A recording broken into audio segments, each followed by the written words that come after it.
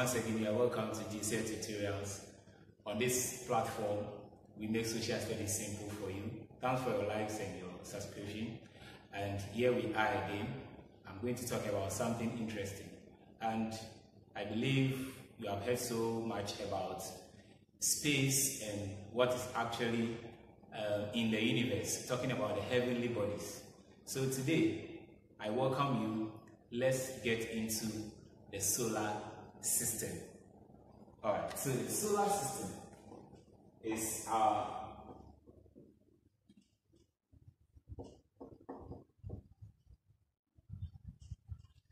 our topic for today.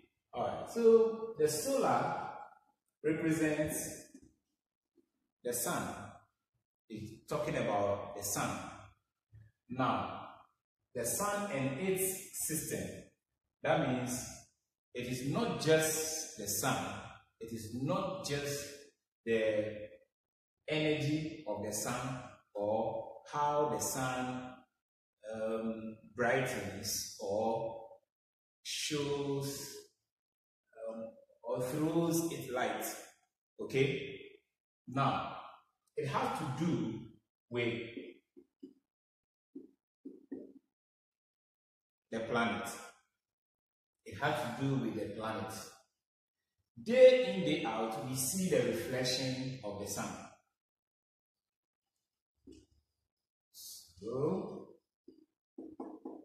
if I sketch my sun, I put it here.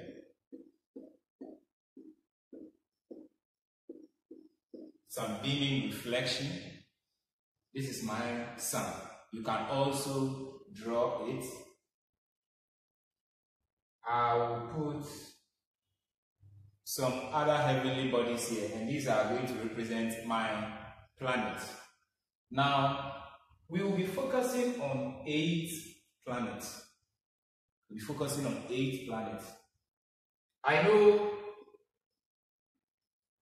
some of you might have heard that there were nine planets in the solar system. Yes. Now we have eight planets. So astronomers, astronomers are people who study planets and other heavenly bodies in space. So they actually look at the things in the universe.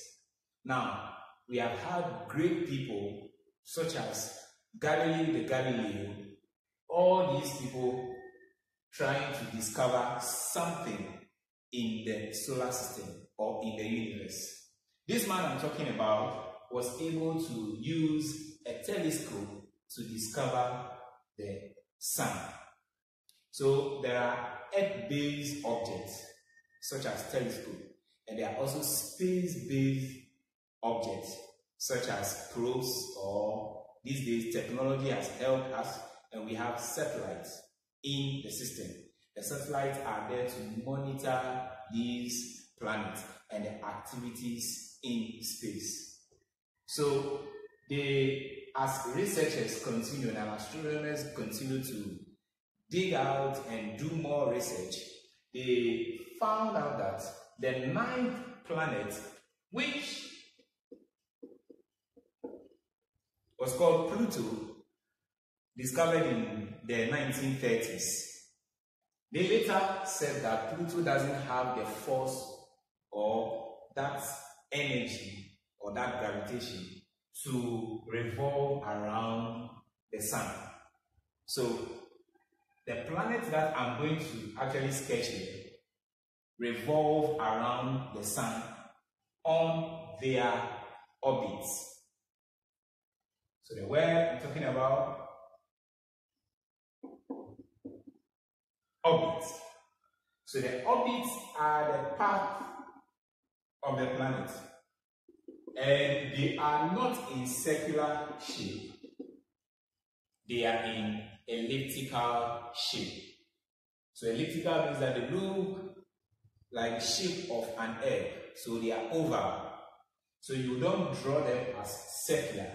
So you might not have all the lines here, but I'll be showing you a video and you see how the planets revolve around the sun on their orbit. So the orbit, the path. We'll be looking at I'll put Earth here because we live on Earth. The other planets, the first one, the closest, Mercury. There's another one called Venus. So Mercury is there, Venus is there, then Earth, our own Earth, is the third planet, followed by Mars. So I gave details concerning the planets in the video that I'm about to show to you. Followed by Jupiter. That's the largest planet in the solar system. Then Saturn,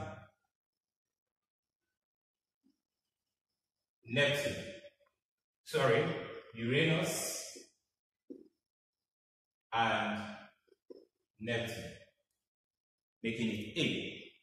So Pluto has been degraded um, to become a dwarf planet. So as at August 2006, we have um, from August 2006, after Pluto had been relegated or degraded by the International Astronomical Union, we now have eight planets in the solar system. So how do you define the solar system? The solar system is a term used to describe the sun and the eight planets. The sun and its relationship with the eight planets. Why do I use the word relationship? The sun is actually connecting all these planets and using its energy and force to control them and keep them in that circular motion. Or if you want to say elliptical motion, that's fine. The elliptical motion, and they go around and come back to their normal plane, and then that is how they revolve on their orbits. They are not on the same level because the closer the planet is to the sun, the faster it moves because of the energy. So you are closer to the sun's energy, so you move faster. So Mercury is actually described as the fastest planet. So the first four, one, two, three, four, are called inner planet. They are called inner planets. And then the last four, the last four become the outer planets. Jupiter, Saturn, Uranus, Neptune. Inner planets, Mercury, Venus, Earth, Mars. They are the closest to the sun. The sun is so powerful.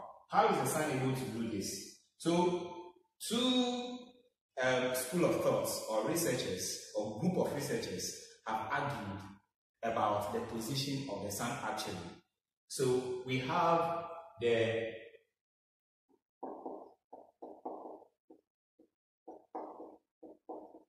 what we call the heliocentric concept and then the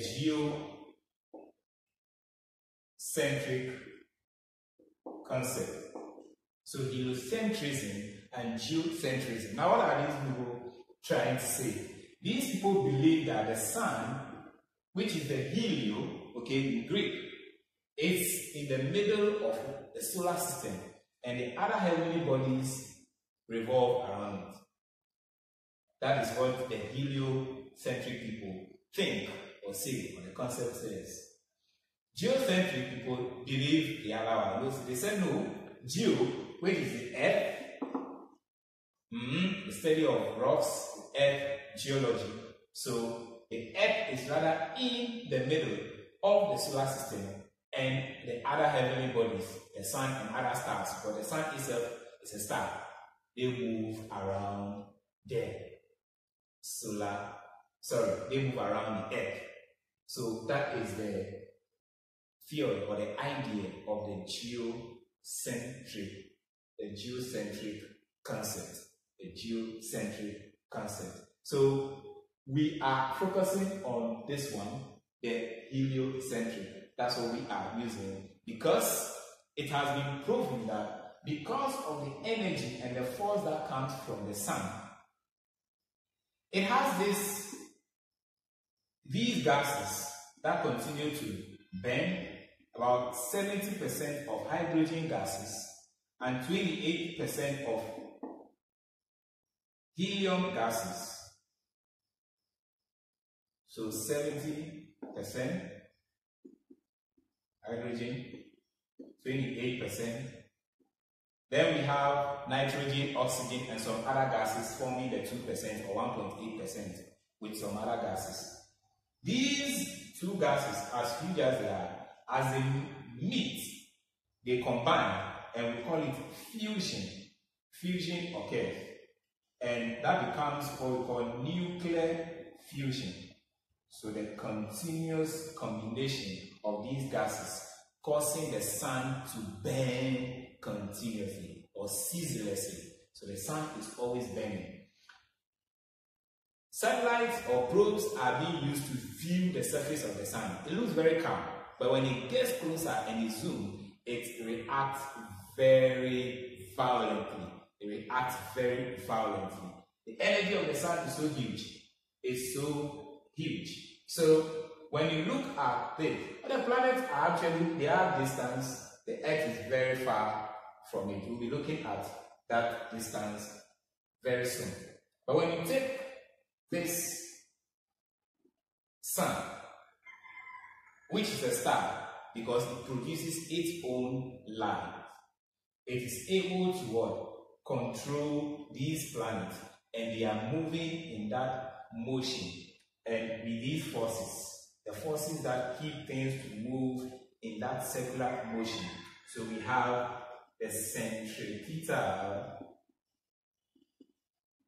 and centripetal centripetal and centrifugal forces.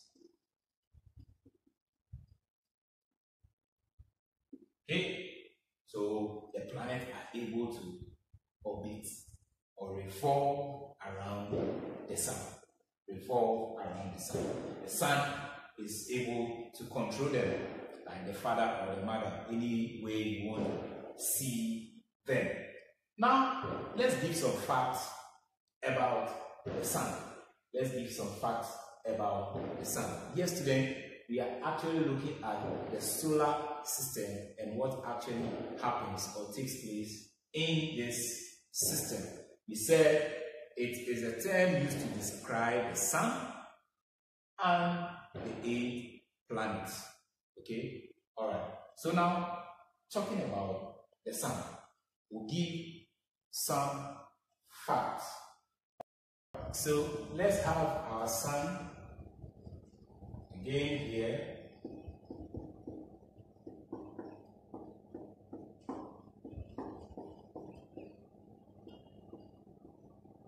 So on this side, reflecting or using its energy to pull the planet closer to itself by the centripetal and centrifugal forces, the planet continues to revolve around the sun. So we will skip Mercury, Venus, then we'll come to our Earth. Our Earth has its moon, which is its natural satellite. So, satellite, anybody that revolves a planet. Okay, anybody that revolves a planet. We have artificial ones built by um, men, okay, or inventors or researchers. These scientists are able to do that. But the natural one is our moon, what appears in the night. As the sun throws its light on it, just a rock-like body. So that is it. And uh, our natural satellite. Of course, other planets also have their moons, and they have a number of them. Jupiter has Saturn has the largest so far. At first, it was Jupiter that was leading with the number of moons 79, and these were the discovered ones, the ones they've named. There are more moons, but the ones they've named and have been documented are the ones we're talking about. So 79 for Jupiter, 82 for Saturn. At first, Saturn had 62, but a man called uh, Scott Sheppard was able to discover 20 more moons or additional moons uh, around Saturn. So that shot its figure up to 60, sorry, 82, leading Jupiter by 3. Okay, let's focus on this. This moon you see over here is about 400 times the sun of the sun. That tells you how huge the sun is. The sun is so huge to the point that about 1 million 300 thousand of the earth planet can fit into it. That sounds so interesting and great. Can fit into the sun. 1,300,000 of the earth planet can fit into the sun. That's so great. So you look at it from a distance, you think it is just a small thing always, and you see how the sun scorches people here on earth, but the distance is huge. Between the, the earth and the, um, um, the sun, have, if I do this, distance of about 149.6 million, this is million, not meters, okay? Million kilometers. That's the distance between the sun and the earth the sun and the earth. Between the moon and the earth, that's our natural satellite and the earth, uh, it's we have three um, 84 yes 0.4 kilometers 384.4 kilometers yeah so sorry three that's 348. Okay. Uh, 348,400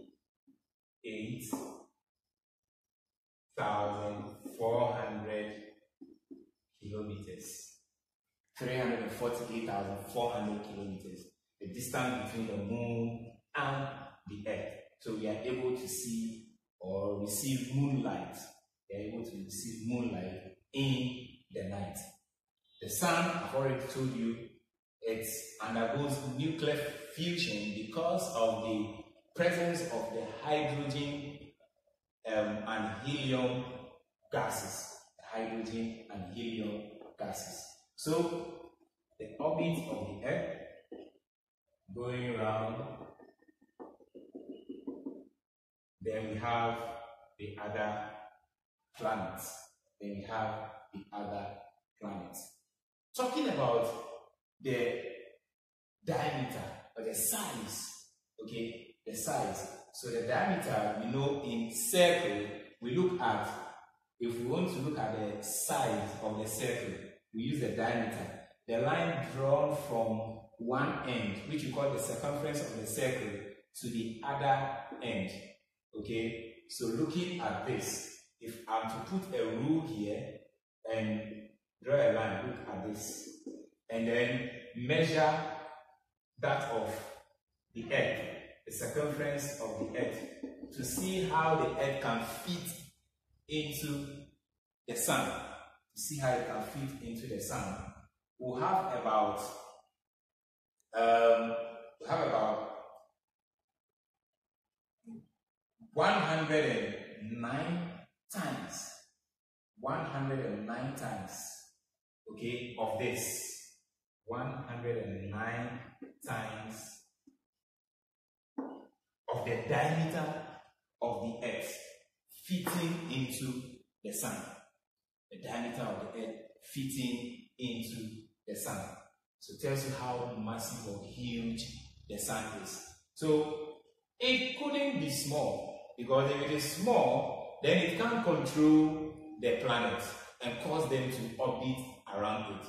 Okay, it's like it pulls them to just keep moving and keep revolving around it, keep revolving around it. And you see the force, the force of it. It's a huge heavenly body burning continually. At times it throws its huge fire, which we call the solar flares, the solar flares. So when the sun is, continues to burn as a result of the nuclear fusion, it throws a fire, like spitting out the fire, and those rain, the form rings of fire around it, makes it so colorful, but very violent and dangerous. So it has ultraviolet rays. These ultraviolet rays reach the sun, sorry, the surface of the earth, and scientists have proven that they are actually dangerous to our health. That's why we have the ozone layer, okay, um, uh, in the sky, shielding the direct ultraviolet rays from reaching the surface of the earth to affect mankind. All right, so we have looked at these simple facts about the sun. Talking about the weight, weight about 333 type um, that's thousand times off. So the weight, weight, 333,000 times the weight of the earth, the weight of the earth. So these are facts about the sun. We'll look the video, let's check it out and see how these planets orbit the sun or revolve around the sun. Let's check it out. All right, so here we are. Um, we have an image here. So I'm going to be playing it as I explain some of the things I've already said when I was trying to give those informations on the board. So we've spoken about the sun in the middle of the solar system as huge as it is. You can see it there with its reflection beaming and trying to control all these planets. Now, what we see here in colors, like rings that look like circles, they are actually not circular, but they are elliptical so oval shape oval shape these are the parts of the planet the parts of the planet and the parts of the planet are called orbits. Orbits o r b i t. So the orbits are the part on which the planet travels. So beginning from the closest okay closest to the sun we have Mercury, the orbit of Mercury. So the first one, so we can count from here one, two, three, four, five, six, seven, and eight. So if we are to go by the new definition or classification, we say the solar system is the sun in the middle of the eight planets. Um, as we mentioned that Pluto had been degraded as one of the major planets. So they were supposed to be nine. So in August 2006, that announcement was made by the International Astronomic um, Astronomical Union, and they declared or relegated Pluto as a planet, and they considered it as a dwarf planet. So you can see this big one, the last ring tells you that this one is far from the sun, very distant from the sun. And it will take so many years for it. Okay? If we are counting years on earth and we are counting a year, uh, we have 365 and quarter days. This is planet Earth where we live. Okay? So we have 365 and quarter days the year ends for us. But look at Mercury. Mercury, the fastest planet. Why is it the fastest? The sun's energy is so powerful that as a planet is closer to it, it moves faster.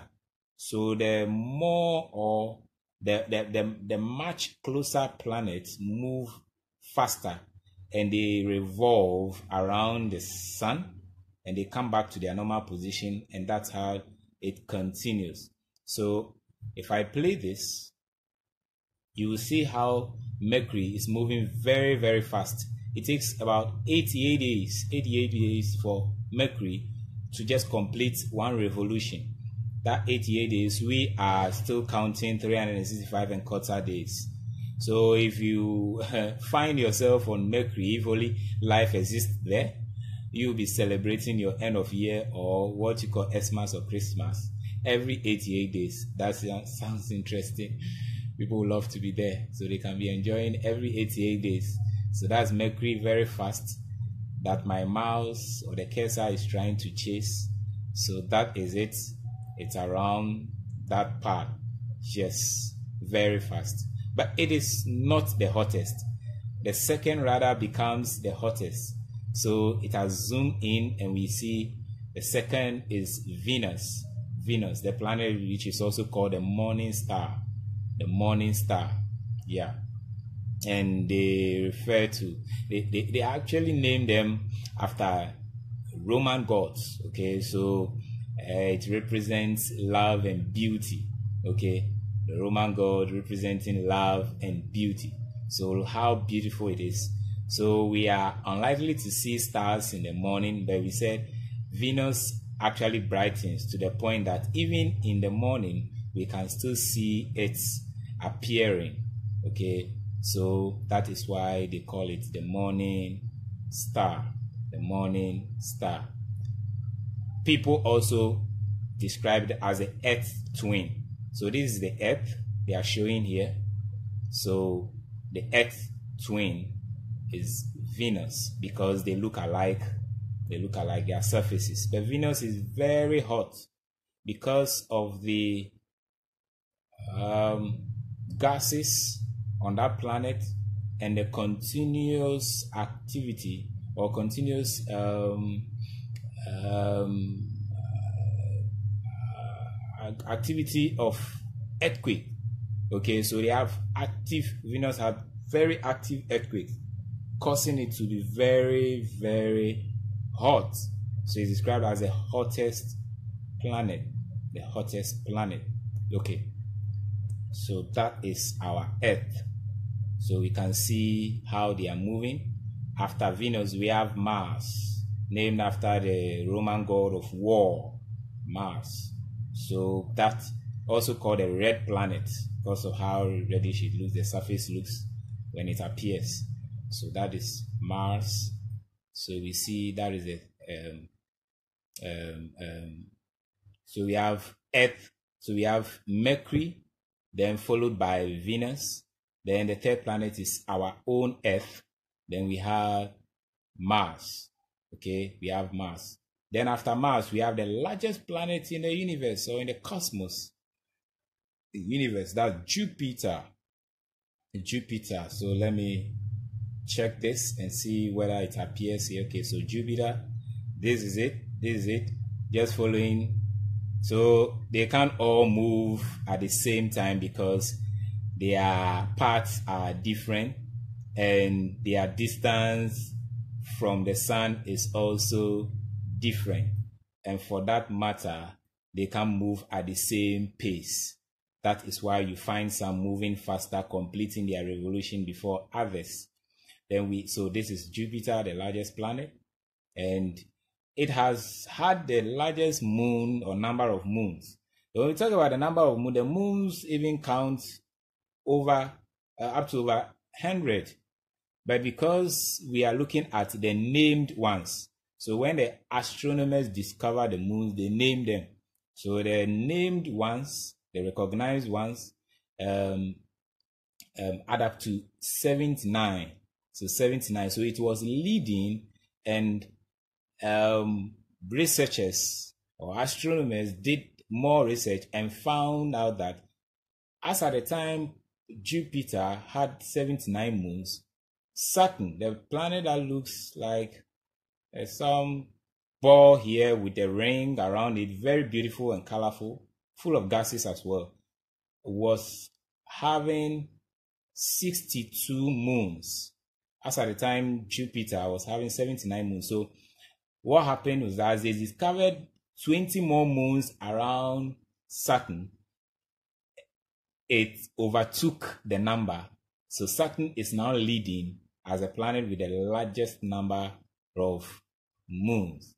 Yes, the largest number of moons. So that is um, um, Saturn for you. So it's having 82 now, um, which is three more than that of Jupiter. That of Jupiter. So you come here, you find Uranus after Saturn. So after Saturn, you have Uranus, um, named after the Roman god of the sky. The sky, I think, because of its look or nature, how it looks. So, and how the planet behaves, as they name them after those Roman gods.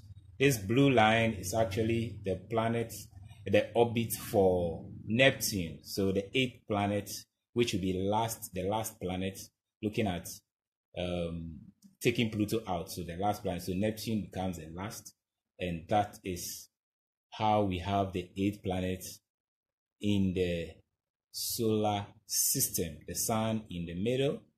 Then we have the Mercury, followed by Venus, followed by Earth, followed by Jupiter, sorry, Mars, Jupiter, Saturn, Uranus. So Uranus uh, actually um, they, they say was a grandfather of in in Greek mythology or Greek myth or their mythical stories.